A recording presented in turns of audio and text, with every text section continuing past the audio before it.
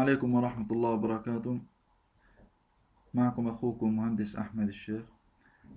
إن شاء الله في الجزء الثاني من ال throttle ال electronic أو ال electronic throttle control هنتعرف على صيانة هذا النظام. شو هي الأعطال؟ شو هي أرقام الأخطاء اللي بتظهر عندي؟ هل آه، جميع الأخطاء تدل على أنه في أعطال كبيرة؟ أم هناك بعض الأخطاء؟ صحيح أنه آه، أسماءها تدل على أنه في شيء آه، كبير حصل ولكن فعليا تكون سلك آه، مثلا الشاصية أو سلك تغذية أدى إلى ظهور هذا العطل تعرفنا على الأجزاء تعرفنا على المحتوى عرفنا ما ما هي الإشارات في كل من الثروتل والدعسة. ورأينا المحرك الكهربائي أو الترس الذي يدار من طرف المحرك الكهربائي. انتقلنا بعدها إلى معرفة وعد الخطوط المتصلة مع ال actuator أو ال throttle وتكون من ستة إلى سبع خطوط في أغلب المركبات. من ثم عرفنا أنه في وحدة تسمى ال ETS هذه الوحدة تكون في بعض المركبات هي المسؤولة عن التحكم في ال throttle بناء على تعامل مع ال PCM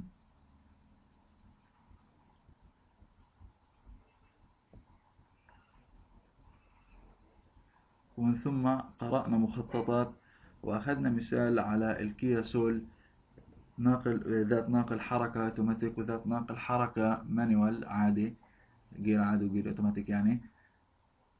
رأينا إنه الاثنين نفس عدد الأسلاك نفس الإشارات ولكن ترتيب الخطوط داخل العقل أو ال control يختلف بين الأوتوماتيك وبين العادي.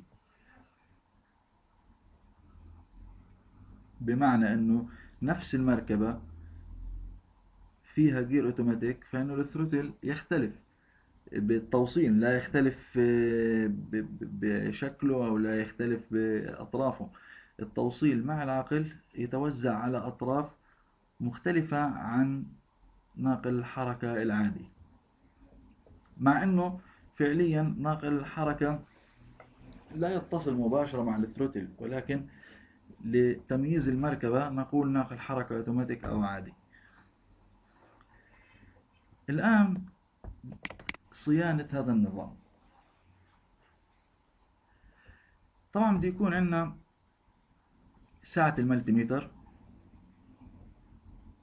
من خلال ساعة الملتيمتر بدنا نقوم بقياس طرفي المحرك الكهربائي الموجود في الثروتل المفترض تظهر عندي قيمة من اثنين ونص لخمسة أوم ولكن إذا ظهرت قيمة مثلا واحد كيلو اثنين كيلو ثلاثة كيلو ظلت ترتفع دليل على إنه في دائرة open circuit دائرة مفتوحة وهذا يستوجب استبدال المحرك لأنه بيكون أساسا الملف منقطع من الداخل. لكن طيب إذا وجدنا مقاومة أقل من واحد اوم بمعنى إنه وضعت بين طرفين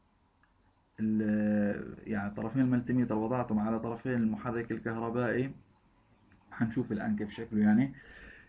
وأعطاني صوت البزر أو الطنين أو الزامور فهذا دليل على أنه أيضا الملف داخل المحرك تالف لأنه لم الآن لم يصبح ملف أصبح سلك موصل مع بعضه. وجود دائرة شورت قصر. طب الأعطال اللي بتظهر عندي.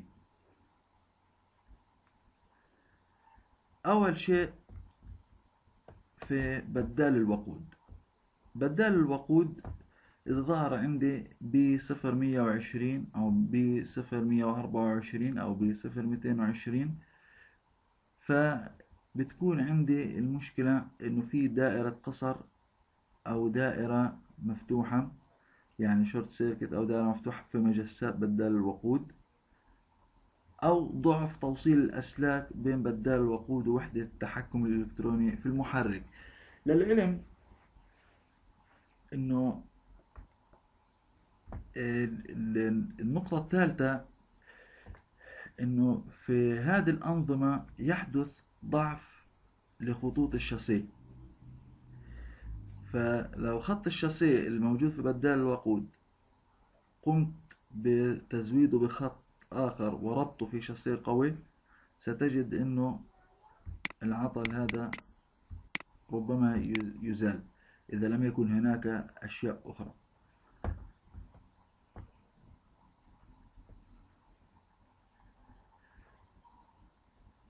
طبعا هذه الأعطال هي كلها متعلقة في بدال الوقود لغاية بصفر ميتين تسعة وعشرين وب صفر ستمية تمانية وتلاتين وب صفر ستمية تسعة وتلاتين.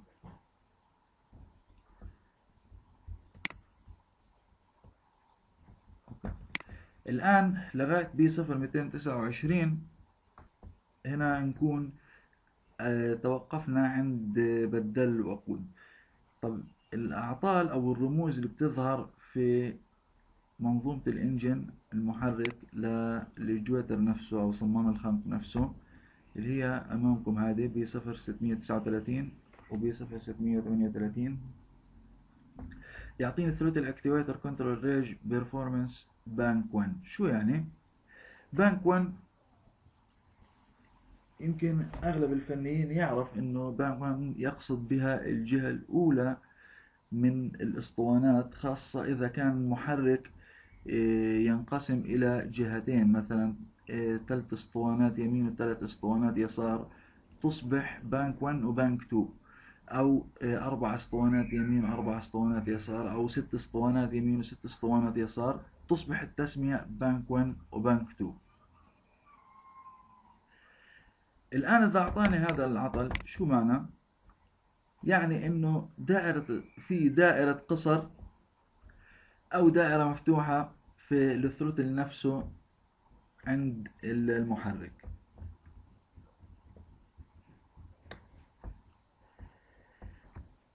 طيب شو في كمان عندي لل range performance bank هذه؟ ممكن يكون كمان في من أحد المشاكل اللي واجهناها إنه ال throttle غير قادر على فتح البوابة بسبب تلف في التروس. يعني وجود الاهتراء في التروس اللي هي هذا التروس نشوفها. هذا التروس بيكون في اهتراء فيها ف أدى لمشكلة في الأداء بال performance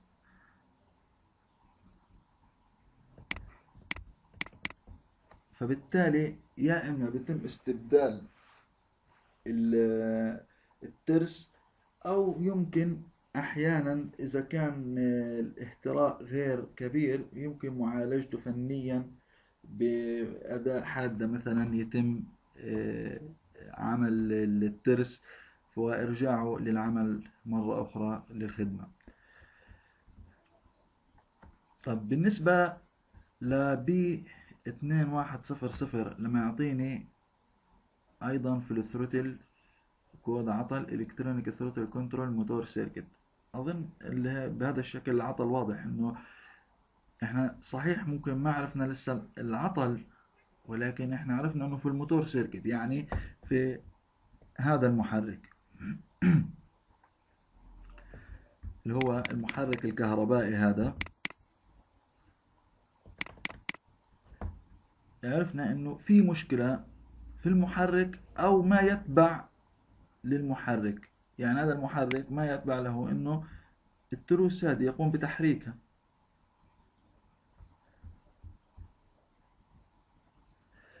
طيب شو الكود هذا؟ يا إما ضعف في البطارية البطارية نفسها مع العلم إنه البطارية آه، تكون قادرة على تشغيل المحرك ولكن وجود ضعف في البطارية لأنه الكنترول أو الكمبيوتر المحرك يصل إشارة أيضا من الكنترول من عفوا من البطارية فيكون عارف إنه هل هذه الإشارة سليمة أو تدل على بطارية ضعيفة.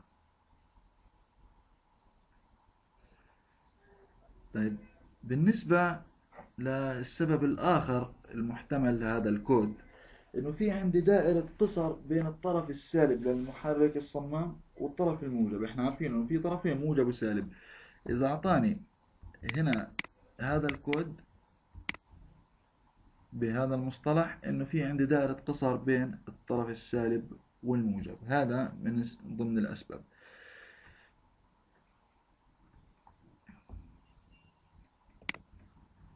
طيب بالنسبة للسبب الثالث لما يعطيني ETC motor circuit short to ground إنه الطرف الموجب هذه المرة عامل اتصال مع السالب. السابق كان السالب عامل اتصال مع الموجب هو بالنسبة لل throttle أو لل control تفرق معاه لكن الاثنين مثل بعض إنه الموجب أو الموجب أو السالب حدث بينهم اتصال.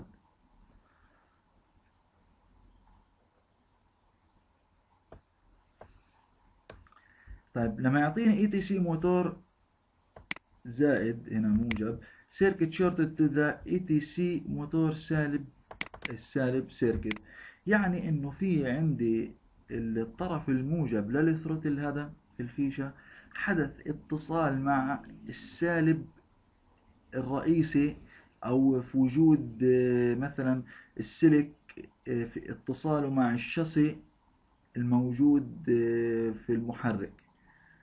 يعني مش مع اتصال مع الأسلاك أو في شرط من الأسلاك نفسها لا اتصاله مع الشاصي في المحرك وكأنه مع سالب البطارية مباشرة.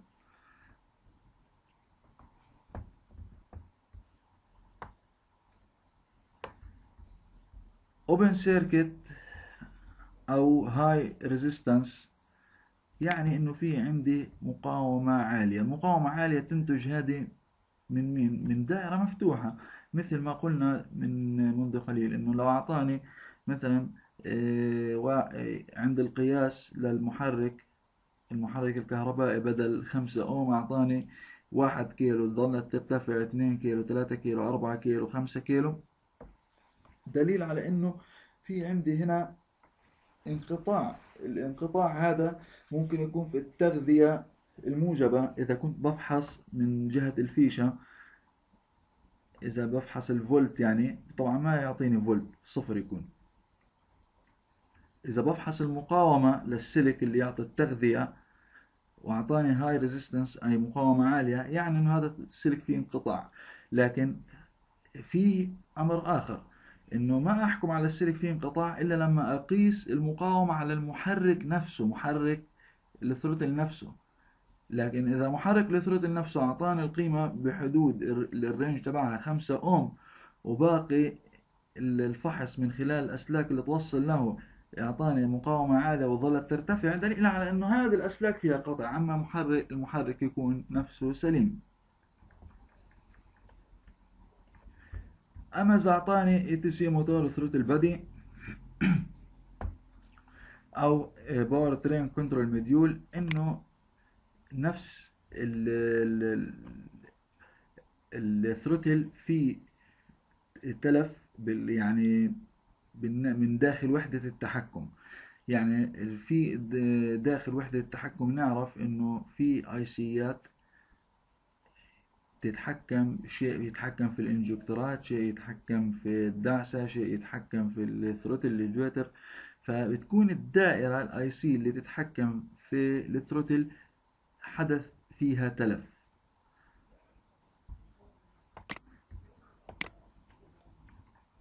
فبالتالي طبعا إذا أعطينا powertrain control module PCM وطبعا بجانبها ETC motor throttle body فيكون عندي أصبح تلف داخل وحدة التحكم الإلكتروني ويجب معرفة ال IC واستبدالها. وتختلف طبعا ال IC من آه، عقل لآخر أو من control لآخر ولكن يعني سهل معرفتها. يعني بالنسبة لأصحاب التخصص إذا كنا مثلا نشتغل في الكوري أو الألماني فكل واحد يعرف ال IC المختصة في كل جزء داخل العقل. نشوف هنا. نشوف هنا داخل هذه الصورة. هذا أجزاء ال throttle ولكن نشوف إنه نشوف هنا الأجزاء بشكل أوضح. هذا المحرك الكهربائي هنا التروس اللي تشغل الصمام تقوم بإدارة الصمام. هذا. الترس بشغل الحساس بمعنى إنه المقاومة المتغيرة في الحساس ترتفع وتنخفض. من هنا نشوف نشوف كيف. هذه المقاومة المتغيرة ترتفع وتنخفض بناء على حركة ترس. فبالتالي الإشارة اللي توصل للكنترول آه، بناء على حركة هذا الترس.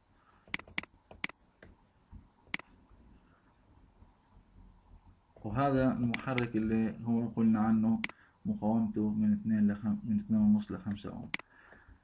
نشوف مجموعة نقل الحركة أو مجموعة التروس هذه كيف توصيلها. شايفين كيف المحرك الكهربائي اللي بداخله ملف يتصل أو يعطي الحركة لترس. الترس يقوم بتحريك ترس آخر خاص بالصمام. هاي صمام الخنق طيب. في بعض المركبات إذا حدث عندي عطل في هذا الصمام كيف بقدر إنه هذا الصمام فيه عطل؟ من خلال إنه عند التشغيل ستعمل معك المركبة ولكن ستجد إنه عدد لفات دوران المحرك من 1500 ل 2000 لفة في الدقيقة. أي المح... عدد دورات المحرك 1500 RPM أو 2000 ار بي ام يعني عالية مرتفعة. ما راح تنزل أكثر من ما راح تنزل. فبالتالي المشكلة وين بتكون؟ المشكلة في ال throttle طبعا. تمام؟ وإن هذا ال throttle غير قادر على فتح البوابة بسبب وجود مشكلة في ال throttle أو بسبب انقطاع تغذية واصلة له بما أدت إلى توقف عمل ال throttle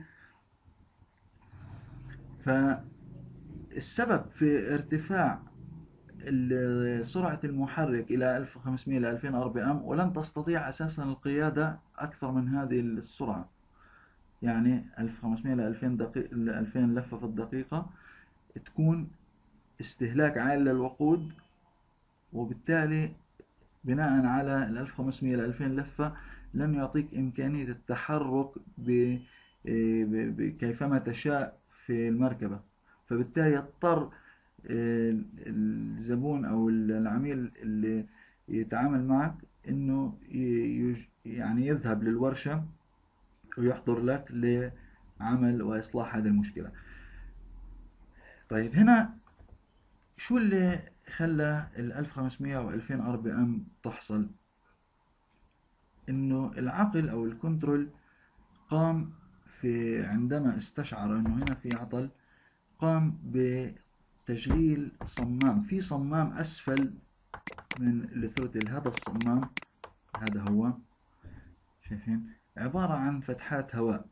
هذا الصمام يبدأ يشتغل في حالة هذا توقف.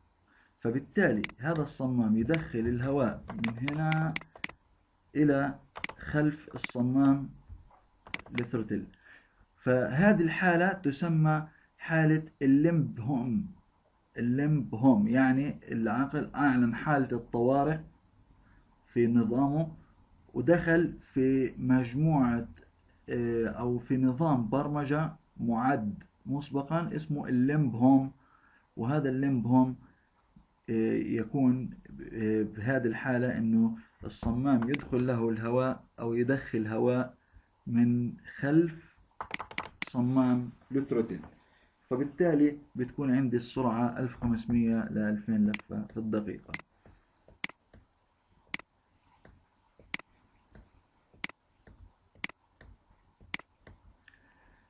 طبعا في بعض المنظومات تقوم وحدة التحكم أو العقل الخاص بالمحرك عند إحساس وصول إشارة لها إنه في عطل في المنظومة إنه تقطع التيار الكهربائي عن الثروتل تمام؟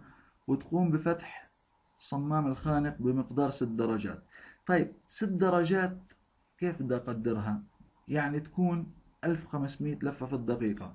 يعني إحنا لما قلنا 1500 لفة ل 2000 ليست بمعنى إنه أحيانا تكون 1500 أو أحيانا 2000 لا في بعض المركبات مثل ما مركبات فولكس فاجن أو أودي أو سكودا تكون عدد لفاتها ست درجات وتساوي 1500 RPM لن تكون 2000 وبعض المركبات في شركات أخرى مثل بعض المركبات الأمريكية أو الكورية المزودة بهذا النظام تصل إلى 2000 RPM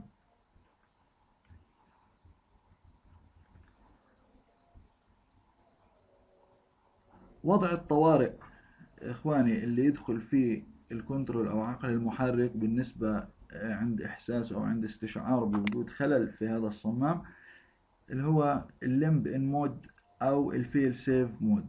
وضعية الطوارئ تسمى limp limp in mode أو fail safe mode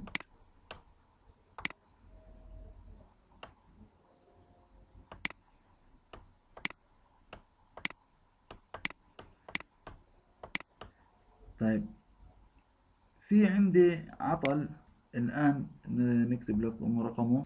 طيب في عطل يواجهنا دائما أو يعني آه، مرات عديدة نواجهه في المركبات بمختلف أنواعها. إنه في عندي فقدان لبدال الوقود. يعني خلال القيادة أتفاجأ إنه بدال الوقود لم يستجيب للضغط. وهذه تحصل يعني في التويوتا أكثر شيء. طيب شو المشكلة هنا؟ هنا اخوان المشكلة بناء على ال يعني الخبرة والتجارب اللي اكتسبناها والخبرة اللي اكتسبناها من الصيانة إنه في عندي قطعة خضراء هنا دائرية يحصل بها اهتراء. هذا الاهتراء هو السبب في طبعا فقدان البدال تدخل على الإنجن وتمسح العطل قبل ما تبدل هذا قبل ما تعمل أي تبديل لهذه القطعة أو أي شيء. لو دخلت على آه، المحرك من خلال السكنر جهاز الفحص وقمت بمسح العطل سترجع الدعسة تعمل. ولكن بعد السير بالمركبة والضغط على بدال وقود عدة مرات سيرجع أيضا ستفقد. فبالتالي حل هذه المشكلة إنه تقوم بفك هذه القطعة الخضراء وقلبها يعني إنك تعكسها تغير اتجاهها فقط لحتى تبعد عن مكان الاهتراء وتذهب إلى مسح العطل من الذاكرة من خلال السكانر جهاز الفحص وتنتهي المشكلة. هذه هي بالنسبة للأعطال والرموز والمشاكل اللي نواجهها في الثروتل الكهربائي والدعسة الكهربائية. أتمنى أن أكون أفدتكم بقدر الإمكان. إن شاء الله تعالى نكون قدمنا المعلومة بالشكل المطلوب. بإذن الله تعالى سيكون موضوع آخر ضمن ال group وهو إنه كيف نركب مثبت السرعة ال cruise control. للمركبات اللي تحتوي على ال throttle الكهربائي. كيف نضيف لها مثبت سرعة؟ إذا كان ما فيها مثبت سرعة سيكون بالتفصيل وبالخطوات وبالصور بإذن الله تعالى. نلقاكم على خير. إلى اللقاء. والسلام عليكم ورحمة الله وبركاته.